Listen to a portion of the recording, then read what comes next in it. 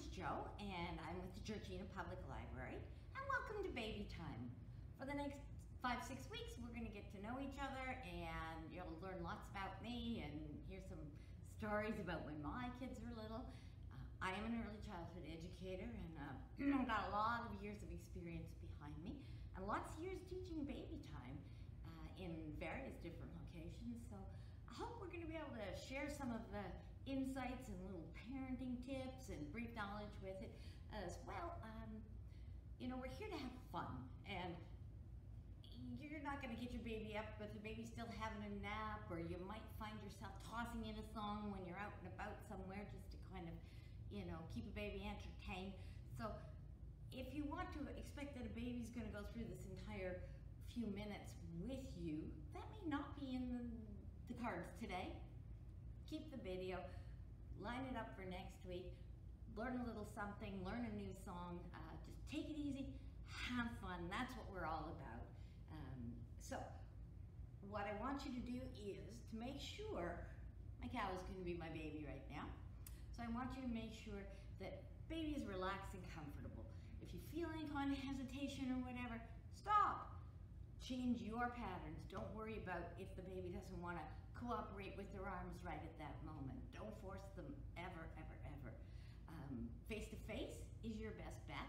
So, you know, if you're laying your baby down on the carpet, maintain eye contact. If you're going to have a little lap ride again, maintain eye contact so there's that trust and that bond that you guys have already built up still being maintained. And then you can sense if they're, if they're not comfortable with whatever actions or activities you're doing. Um, make sure that um, you talk, talk, talk, talk, talk to your babies. We're gonna hear lots of words and lots of different things. If you speak another language, bonus. Babies learn to be multilingual right from birth. So don't worry about, say, if you speak uh, Arabic and you speak English, if you speak both languages to the baby, that's fine. They learn to sort it out very, very quickly. More languages, the more words and tones that a child hears before they're three, the easier it is for them to learn to pronounce those words. So at three, the, the brain starts closing down those language learning abilities as, as kind of a multilingual learner. And by six, they're closed pretty much up. So that if after the age of six you want to say you teach French to your child, they become a French language learner, just like an English language learner. And if you've come and learned another language, you know, you find your brain always still converting back to the old one. Anyway, yeah, let them hear those languages and lots and lots of words. Talk to your baby, read to the babies. So let's go. We're gonna start off every time with the same song so that the baby gets to know, oh, this is the beginning of something. I remember this. I had fun with this last time.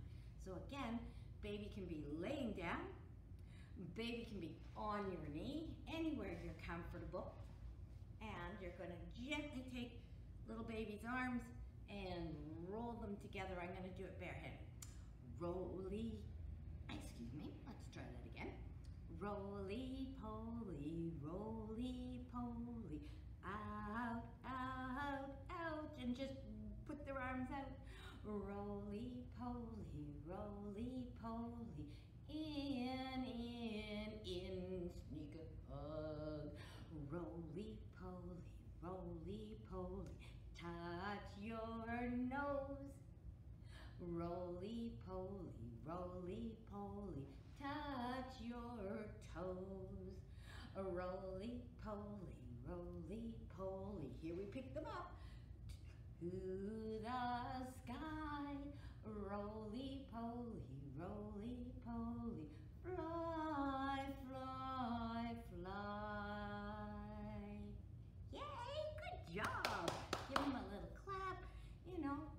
tone of your voice and, and do a few uh, little things like that. Thank you, Cow. Did you enjoy your ride? Excellent. Finger plays. These are great when babe's in the car seat and you gotta get home and they're fussing and you can do a few little songs and things over the seat or, or whatever you have to do in the grocery cart. Um, get them used to watching your fingers and hearing your words. Here is little bunny with its ears so funny, and here is the hole in the ground. At the first sound it hears, it picks up its ears and hops down the hole in the ground. So you got that little kind of beat going on. Here is little bunny with its ears so funny. Here is its hole in the ground. At the first sound it hears, makes some sound, picks up its ears and hops down the hole in the ground. Good job. Fantastic. Now, this is a classic. It's been around since before I was, I'm sure, and good fun to do with, with puppets or your stuffies or whatever. And we're going to sing Old MacDonald had a farm, E-I-E-I-O. And on that farm he had a, what's that? Cow? E-I-E-I-O. With a moo moo here and a moo moo there. Here a moo, there a moo, everywhere a moo moo. Old MacDonald had a farm. E-I-E-I-O. This is a great song to change your voice. Oh, and on that farm he had a pig. A-I-E-I-O. With an oink oink here and an oink oink there. Here an oink, there an oink, everywhere an oink oink. Old MacDonald had a farm. E-I-E-I-O. Oh, you might want to give the puppet, if your baby's old enough and not going to eat it, to the baby next. All right. And on that farm they had a horse. E-I-E-I-O. With a neigh neigh here and a neigh neigh there.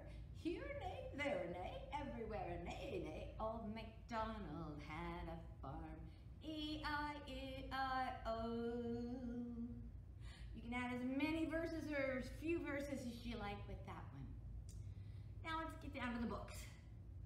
Uh, story time can be any time. Don't have to save it up to bedtime. I used to have a thing at my house.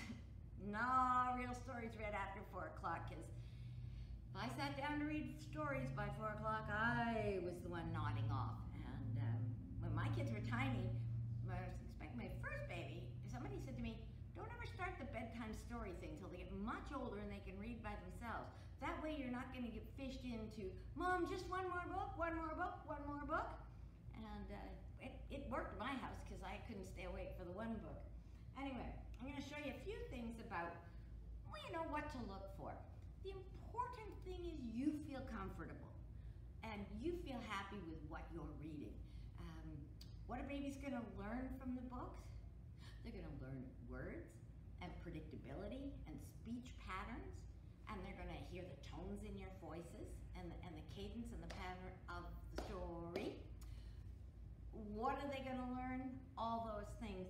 If you handed your child a one, two, three ABC kind of book, and you're reading that with a little one, they're not going to learn that. They may become familiar with the numbers, hearing the word two, and you might count one, two if you're reading two socks. But again, they're not going to learn to read this at, at, a young age, but you're sharing the experience with them. And this is a great one because Robert Munsch is just a lot of fun to read, and it kind of introduces them to the pictures.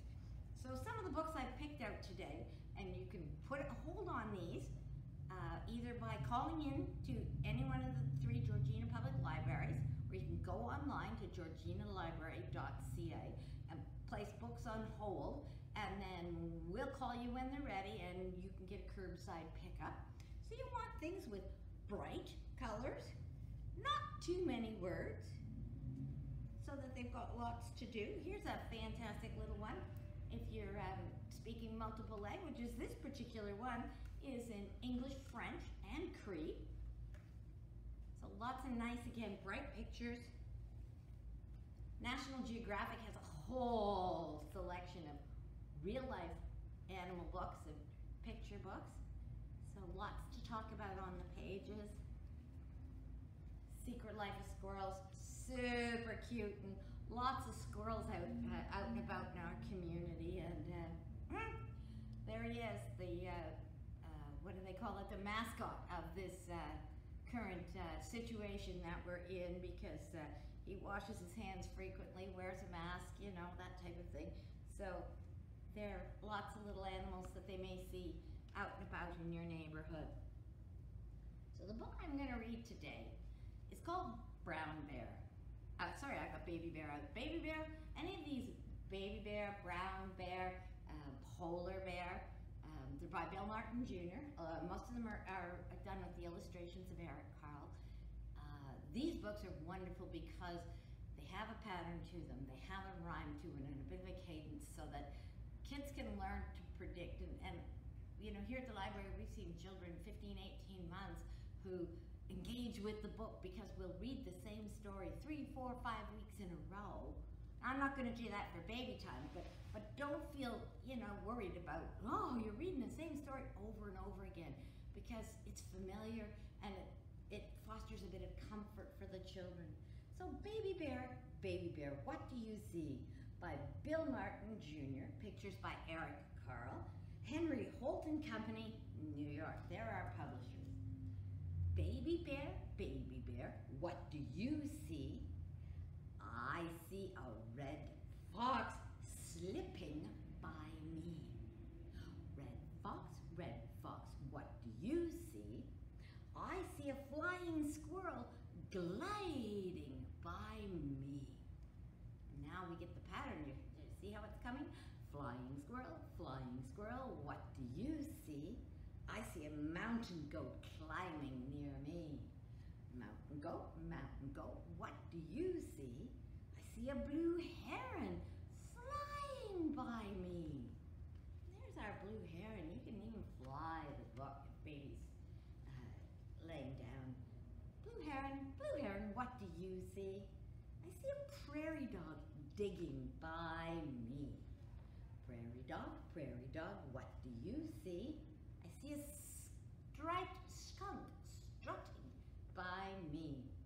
Striped skunk, striped skunk, what do you see? I see a mule deer running by me. Mule deer, mule deer, what do you see? I see a rattlesnake sliding by me. Rattlesnake, rattlesnake, what do you see? I see a screech owl hooting at me. Screech owl, screech owl, what do you see? I see Mama Bear looking at me. Mama Bear, Mama Bear, what do you see? I see red fox, flying squirrel, prairie dog, striped skunk, screech owl, mountain goat, blue heron, mule deer, rattlesnake, and my baby bear looking at me. That's what I see. There you have Baby Bear, Baby Bear by Bill Martin Jr. Now we're gonna liven things up for a while. These are great, I know.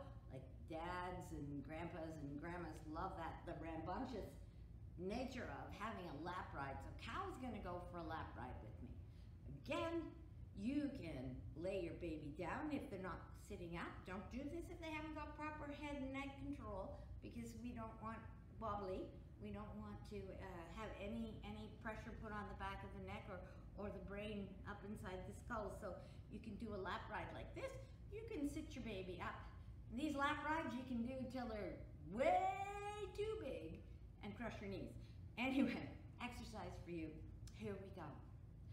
Bumping up down in my little red wagon, bumping up and down in my little red wagon, bumping up and down in my little red wagon. Won't you be my darling? Uh-oh, we lost one wheel and the axle's broken. Lost one wheel and the axle's broken. Lost one wheel and the axle's broken. Won't you be my darling? Uh-oh, we better fix it. Can clap hands together and we'll say, hammer that wheel back on that wagon, hammer that wheel back on that wagon, hammer that wheel back on that wagon. Won't you be my darling? let's see if we fix that wagon. Are you ready? And you get a little more rambunctious with this one if your baby's ready for it. Again, making sure they've got that head and neck supported. Here we go. Bumping up and down in my little red wagon, bumping up and down in my little red wagon, bumping up and down in my little red wagon. Won't you be my darling? Give yourself a clap. Yay! Now, you'll notice as your baby's starting to pull themselves up in the crib and onto the furniture, they're intuitively kind of going back and forth, back and forth. And that's because they're challenging their balance. There's like a little water level inside the rear kind of thing. It's called the vestibular balance. And they intuitively rock. So this is kind of a good rocking game song. Tick, tock, tick, tock. I'm a little cuckoo clock. Tick, tock, tick, tock. Now I'm striking one o'clock. Are you ready? Cuckoo! Hold on tight. You ready? Let's go for another clock time. Tick, tock, tick, tock. I'm a little cuckoo clock. Tick, tock, tick, tock. Now I'm striking two o'clock. How many cuckoos now? Cuckoo! Cuckoo! And say, yay! Good job! All right, that's uh, been a lot in, in a short period of time, so sing our goodbye song. We'll start with Roly Poly every week, and we'll finish with our head and shoulders with a little bit of a twist. And uh, then I just want to remind everybody that the summer reading program is on now. You can find out about it on our website. It's through a website where we, we're on a platform called Beanstack. And we have summer reading challenges for you to do with tiny babies because you want to be reading to them. You may as well get them into that whole idea that reading is all year round, right from the start. And there's summer reading challenges all the way up to and including adults, all different. There's lots of prizes being given away. There's lots of um, school trophy for the kids in school. There's that competition going on. You can borrow books from the library, but if you can't get out or you want to do it um, just online, you can borrow digital, uh, the e-books online, the audiobooks online, but uh, you can also um, use the books you have at home. All right, so here we go. Again, don't force, but you can lay baby down, stand up, sit down. Make sure you do some of the actions yourself so that the children know you're not just, you know, watching them do it, all right? So we're gonna sing head and shoulders, knees and toes, knees and toes, knees and toes, head and shoulders, knees and toes. Here we go. Hands up high and wave goodbye. Our hands wave goodbye. Our hands wave goodbye. Baby time is over now. Our hands wave goodbye. Thank you for coming and we'll see you again soon.